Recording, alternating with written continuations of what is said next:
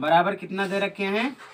Zero point seven metre. और क्या दे रखे तो हैं? बच्चों आज हम बात करेंगे वर्कशीट नंबर सेवेंटी एट के बारे में मैथ क्लास नाइन्थ जो कि आपको ट्वेंटी एट जनवरी को प्रोवाइड किया जा रहा है। ठीक है? ये आज की हमारी टॉपिक इस वर्कशीट में एक लंब वृत्तीय बेलन का पृष्ठीय क्षेत्रफल। तो हम सारे क्वेश्चन ब्लैक बोर्ड पर आपको समझाएँगे अच्छे से समझ में आएगा।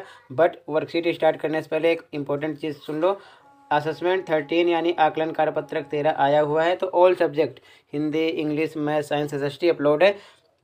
इस वीडियो के कमेंट बॉक्स में कमेंट बॉक्स में चेक कर लो, मैंने प्लेलिस्ट की लिंक पेस्ट कर रखा है ओपन करके एक साथ ऑल सब्जेक्ट कर लो, ठीक है? तो ये आप कर लेना तो स्टार्ट करते हैं। तो सबसे एक मेन चीज़ और एक समझना है, एक लंबवृत्तीय बेलन तो अगर हम ये बेलन की बात करें, ये हमारा क्या है? बेलन, क्या है? बेलन। तो ये ध्यान में रखना, ये बेलन है तो कलर चेंज करके बता रहा हूँ इंपॉर्टेंट चीज़ है, ठीक है ना? इसलिए समझा रहा हूँ। ये क्या होती है इसकी ऊंचाई होती है, यानी बीच में ऊंचाई है, इसको हम क्या बोलते हैं एच ठीक है? और देखो, अगर ये सर्कल बन गया नीचे, ये पूरा सर्कल बना तो ये आधा लेंगे तो त्रिज्या आर होती है, और पूरा यहाँ से यहाँ तक कितनी, क्या हो जाएगा हमारा, ये व्यास होता है। व्यास को डायमीटर डी से निरूपित करते हैं। और अगर कोई पूछे बेलन का पृष्ठीय क्षेत्रफल क्या होता है तो फॉर्मूला ध्यान में रखना, सबसे मेन चीज़ फॉर्मूला होता है। फॉर्मूला होता है टू पाई आर एच ये पृष्ठीय क्षेत्रफल है बेलन का। ठीक है, ये चीज़ आपको ध्यान में रखना है। ठीक है? तो अब स्टार्ट करते हैं। क्वेश्चन क्या है? देखो ध्यान से। क्वेश्चन इसमें एग्ज़ाम्पल आप समझ लेना। सॉल्यूशन साथ में है। Question number one question number two तो इन दोनों को अब हम लाइव समझाते हैं ब्लैक बोर्ड पर अच्छे से समझो, ताकि एक ही बार में समझ में आ जाए। ठीक है? तो क्वेश्चन नंबर वन है, स्वयं प्रयास कीजिएगा। एक लंब वृत्तीय। बेलन का वक्र पृष्ठीय क्षेत्रफल चार पॉइंट चार मीटर स्क्वायर है। बेलन के आधार की त्रिज्या ज़ीरो पॉइंट सात मीटर है।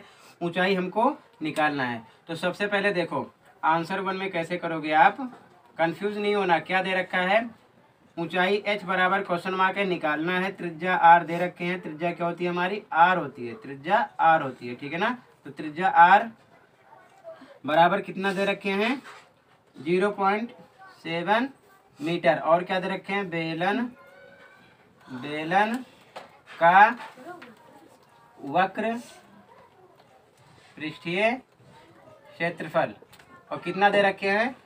फोर फॉर्मूला इस साइड रखना है आपको। फॉर्मूला इस साइड रखो। फॉर्मूला क्या होता है? टू पाई आर एच बराबर।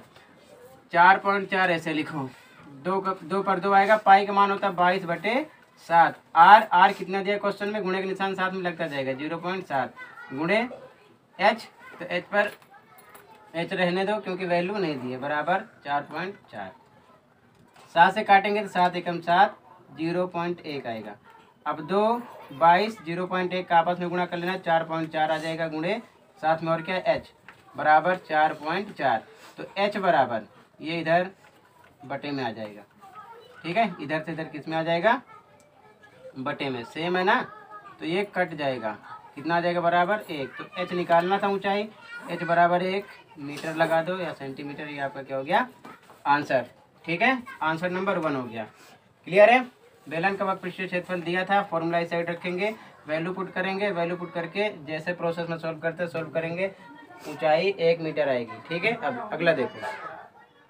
क्वेश्चन नंबर सेकंड करा है कि किसी बेलनाकार स्तंभ का व्यास 50 सेंटीमीटर है, ऊंचाई 3.5 मीटर है, और 12.50 प्रति मीटर स्क्वायर की दर से पेंट कराने का वे निकालना देखो, जब पेंट कराने की बात हो, चाहे बेलन हो, चाहे शंकु हो, चाहे गोला हो तो वह पृष्ठ निकालते हैं, ठीक है ना? ये ध्यान में रखना।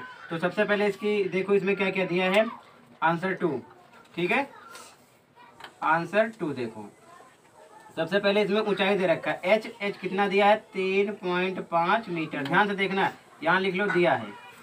ठीक है, दिया है। तीन पॉइंट पाँच मीटर और व्यास दे रखा है। व्यास व्यास कितना दे रखा है? व्यास दे रखा है पचास सेंटीमीटर। तो फॉर्मूला हमें निकालना पड़ेगा वक्पृष्ठ वक्पृष्ठ का फॉर्मूला होता है टू पाई आर एच। ये ध्यान में रखो सबसे पहले। तो टू पर टू पाई का मान रख दोगे आर। आर तो पहले एस तो दिया है ना, आर की ज़रूरत है। आर का फॉर्मूला रखोगे तो आर बराबर होता है व्यास बटे में दो। ये आर का फॉर्मूला है तो व्यास पर कितना रखोगे? पचास बटे में दो। और ध्यान से देखो, इसको भाग करोगे तो कितना आ जाएगा? पच्चीस। किसमें? सेंटीमीटर में। ये मीटर में है। और जो हमको निकालना है क्वेश्चन में वे वो भी मीटर में ही निकालना है। क्वेश्चन ध्यान से पढ़ो। तो हम सब राशि को मीटर में कर लेंगे। ये मीटर में, इसको भी मीटर में करेंगे तो इसको मीटर में करेंगे। तो हमें किससे भाग करना पड़ेगा? सौ से। सौ से जब भाग करोगे तो ये आ जाएगा ज़ीरो पॉइंट दो पाँच मीटर ये मीटर में हो गया। ठीक है ना? मीटर में पता है क्यों किया गया?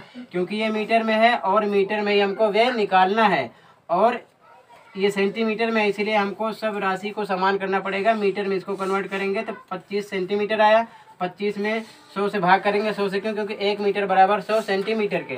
तो सौ से भाग करेंगे तो आ जाएगा ज़ीरो पॉइंट दो पाँच मीटर। ठीक है ना? ये इतना आ जाएगा। आगे बढ़ेंगे तो क्या निकालना? बेलन का वक्पृष्ठ। तो पेंट के लिए सबसे पहले बेलन का वक्पृष्ठ यानी वक्पृष्ठ निकालना पड़ेगा। तो बेलन का वक्पृष्ठ निकालेंगे सबसे पहले। बेलन का वक्पृष्ठ या बेलनाकार स्तंभ का वक्पृष्ठ क्षेत्रफल लिख सकते हो। ठीक है?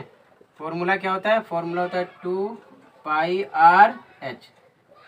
Two पे टू, पाई का मान बाईस बटे सात। आर आर क्वेश्चन में कितना? निकालो, ज़ीरो पॉइंट दो पाँच। ज़ीरो पॉइंट दो पाँच रखेंगे। और एच एच कितना है? तीन पॉइंट पाँच। सब मीटर में है, ठीक है ना? तीन पॉइंट पाँच। आगे क्या करोगे? काटोगे, सात से काटोगे इसको तो आ जाएगा ज़ीरो पॉइंट पाँच। सात बचे पैंतीस। बचा क्या? दो गुणे बाईस गुणे ज़ीरो पॉइंट दो पाँच गुणे ज़ीरो पॉइंट पाँच। इनका आपस में गुणा कर लेना। गुणा करोगे तो आएगा पाँच पॉइंट पाँच मीटर स्क्वायर। पर ये हमारा आंसर नहीं है, हमें निकालना क्या है? व्यय। तो यहाँ लिखेंगे पेंट पेंट कराने कराने का व्यय। व्यय बराबर क्या होगा? जितना आया हुआ है, पाँच पॉइंट पाँच। इसी को कितने रुपए की दर से? यहाँ लिखा है कितना? बारह पॉइंट पाँच। यहाँ पर लिखो, बारह पॉइंट पाँच की दर से। बारह पॉइंट, यहाँ लिखो पाँच ज़ीरो की दर, यहाँ लिखो से। ठीक है ना, की दर से। पेंट कराने का वे बराबर, इसी को बारह पॉइंट पाँच ज़ीरो से क्या करना गुणा। और गुणा करोगे तो आपका आंसर कितना आ जाएगा? इसको गुणा कर लेना आप, ठीक है? Six eight point seven five. और ये किसमें आएगा? रुपए में। ये आपका आंसर हो जाएगा। फिर से देखो, आपको कंफ्यूज नहीं होना है। इसमें सबको सेंटीमीटर में कन्वर्ट करोगे तो दिक्कत होगी। मीटर में ये भी दिया था, मीटर में ऊंचाई दी है तो ब्याज को सेंटीमीटर में आया तो त्रिज्या निकालेंगे ब्याज बटे दो, पचास बटे दो, पच्चीस आएगा। सेंटीमीटर को मीटर में कन्वर्ट करेंगे, सौ से डिवाइड करेंगे, ज़ीरो पॉइंट दो पाँच आएगा। फिर बेलन का वर्क पृष्ठ निकालना पड़ेगा क्योंकि पेंट कराना है तो पेंट के लिए हमें वर्क पृष्ठ का वक पृष्ठीय क्षेत्रफल निकालना पड़ेगा, वो चाहे बेलन हो, चाहे शंकु हो, चाहे गोला हो। तो वक पृष्ठ का फॉर्मूला अप्लाई करेंगे, दो पे दो, पाई का मान, आर का मान एच का मान रखेंगे। तो उसके बाद में कितना आएगा वक पृष्ठ पाँच पॉइंट पाँच मीटर स्क्वायर, फिर बारह पॉइंट पाँच ज़ीरो की दर से पेंट कराने का व्यय। तो इसी को हम बारह पॉइंट पाँच ज़ीरो से मल्टीप्लाई करेंगे, गुणा करेंगे। तो हमारा आंसर आ जाएगा, ठीक है ना? ये हमारा आंसर हुआ, ठीक है? अब कन्फ्यूज़ नहीं होना है। सबसे पहले हम सोचते हैं कि हमको कौन सा, क्या निकालना है। तो सबसे पहले हमने ये सोचा कि वक्रपृष्ठ निकालना तो वक्रपृष्ठ का फॉर्मूला सोचेंगे, फिर जो चीज़ें दी हुई हैं जैसे पाई का मान पता है आर एच दिया है तो आर निकालेंगे तो इसी के अकॉर्डिंग हम सबसे पहले वो चीज़ें निकालते हैं, फिर सारी चीज़ें सेम होनी चाहिए। अगर सब मीटर में होता तो हम कुछ करते नहीं, लेकिन ये सेंटीमीटर में था, इसीलिए मीटर में किया गया, ठीक है? तो इतना ही था प्रोसेस में, इसी के साथ आपकी वर्कशीट कंप्लीट हुई, ठीक है? अगर वीडियो अच्छी लगे तो लाइक कर सकते हो चैनल पर नया सब्सक्राइब कर सकते हो, और आपका असेसमेंट भी पूरा है कंप्लीट कर सकते हो मैथ का। मिलते हैं नेक्स्ट वीडियो में thank you for watching this video and take care